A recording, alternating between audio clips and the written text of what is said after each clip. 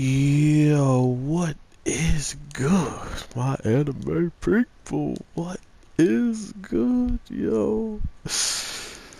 Alright, Boruto, uh, I don't really understand one part of it, but most of it was pretty decent. Um, some things that needed to happen kind of happened for me, um, for the sense of like a payoff for why they introduced certain things. But um, one of those things being the the snake. We finally get to see the snake and seeing how he actually waited until like you know the perfect moment to actually make his move and actually help and stuff like that is when um, Mitsuki actually seemingly was back on Boruto's team and he seemingly had proved that everything he said was true. So with that being said, it kind of like played out perfectly in the sense of them making the bet and they didn't just continuously use him on points where uh, it didn't seem like the bet would go in Boruto's favor. Uh, instead, you know, they brought him out of decent parts of the time, so I do appreciate that. Um, the other thing being uh, just Mitsuki and this guy that, you know, really had the closest friendship out of all of the people that we see Mitsuki kind of encounter throughout this arc. That kind of had me, uh, like, I don't know. I, I just felt like they wanted to have the feels for that character, and it just was like, eh. It was kind of obvious that he was going to go because are they were they really going to let these guys sacrifice a whole bunch of humans and take their hearts and let them live and then act like you know how do you go past that you know like taking human life to bring about the lives of synthetic synthetic humans.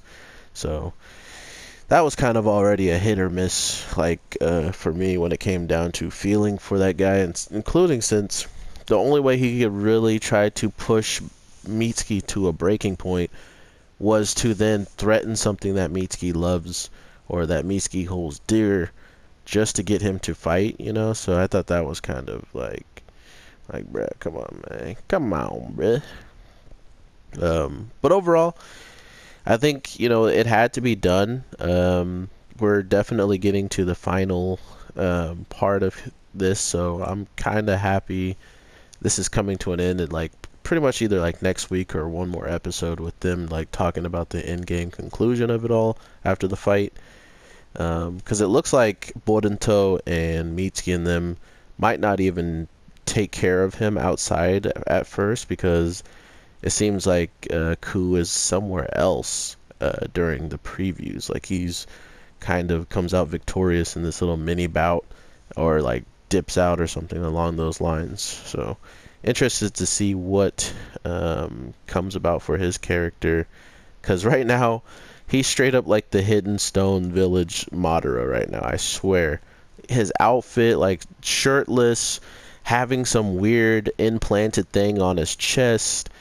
I mean it's it's pretty much Madara uh, of the clones. Like I don't, I don't know how much more you you need to see of how like his clothes are designed, how his hair is designed now. Um, seemingly, it didn't seem that long at first until you remove all the clothes, the top part, and you can see just how long that thing be hanging. The hair is hanging, boy. Pause.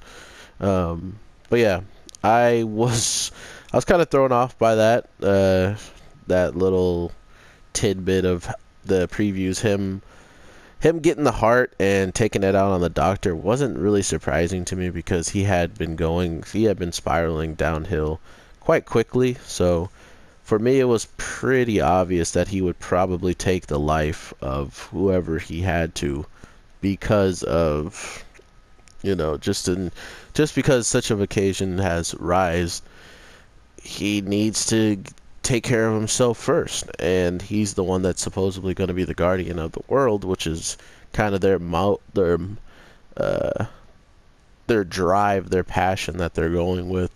So that that was kind of like the sad part of it all is how much they were had on their shoulders compared to how much they could actually do as the bodies they were without killing the same people they were supposed to protect.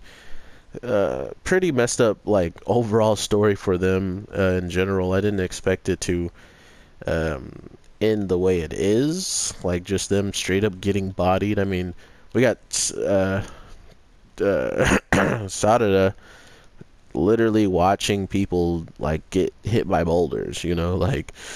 But uh, the Naruto universe is definitely not as forgiving as like so to speak, like My Hero Academy or freaking even Black Clover stuff like that because they straight up just watch this girl get bodied. Uh, they first break her puppet, and then after breaking it, she's sit straight up still sitting there watching her and jumps far away from her and lets the boulders just straight up fall and crush her to death. So yeah, the the Boruto universe definitely is gonna, uh, or like not the universe, but like all of this different stuff. I really hope that it helps the audience see more of like the humanity and stuff. I guess that they're kind of going for, because I mean, seeing someone get crushed would be crazy, but to Sarada is like, oh, this made person, this person who's a clone, who's not even a real human, getting crushed,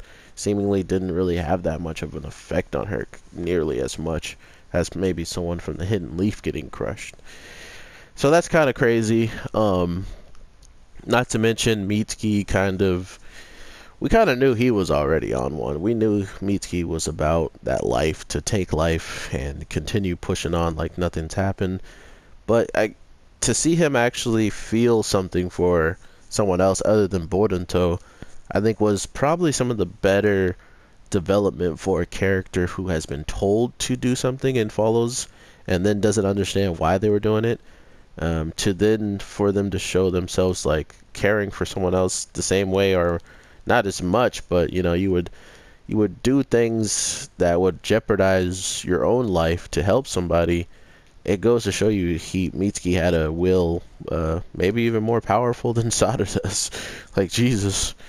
Um, so we'll we'll get to see. I mean, I guess these deaths, like dying by these certain things, are like a mercy killing because they're either gonna die like that or they're gonna die slow by uh, by their own like body deteriorating. So, just like the guy who Mitsuki was chilling with, he straight up died with his arm straight up getting disintegrated. So that's just how that goes. Um, I guess a boulder falling on you wouldn't be so far from that.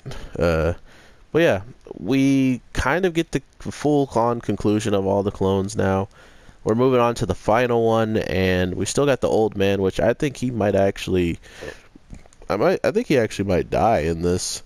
Like he kind of seems like they really wanted to do him one last little story. Like he was a really cool character back in Shippuden, but now with him being like senile and causing all this ruckus and stuff, it only seems right that he's going to try to com- to like battle with Ku and get absolutely bodied or like at least get slapped down or something again like he already did and probably die from just having too much uh, stress on his body and stuff like extra stress that he already his body's old and fragile now, and he's over here trying to fight. He's already used his powers, um, his jutsu, and has already been like bopped by uh, his creation. So he's not looking so good.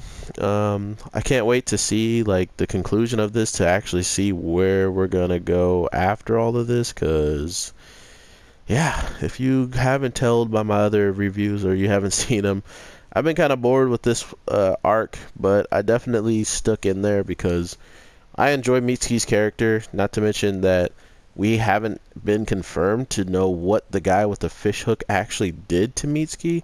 Did he steal his sage?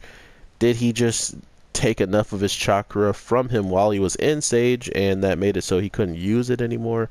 What happened with all that? That throw was sick.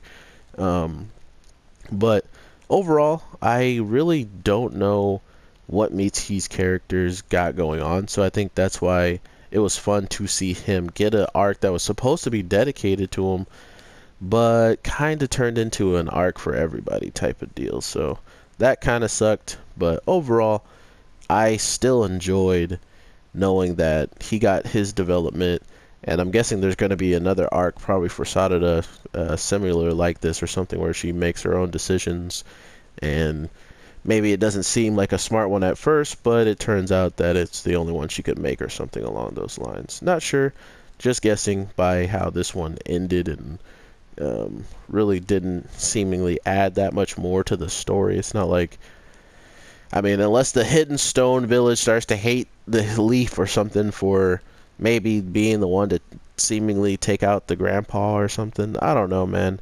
There's there's a lot that could happen, but I feel like won't happen. I feel like this was definitely just that placeholder until we got to the better stuff. So overall, let me know what you guys are thinking about all this because to be fair, um, Boruto and the snake is pretty cool. Uh, not to mention, he did say that maybe he should like fight alongside with the you know someone else who's human. So it looks like Boruto might be keeping the snake which actually kind of makes a lot of sense in the fact that it would also benefit him and Mitsuki's relationship because they might be able to work together on snake sage mode at the same time. Like I'm pretty sure Mitsuki doesn't just go around and train or have any time to really train when he's trying to be a full-time hidden leaf uh, ninja.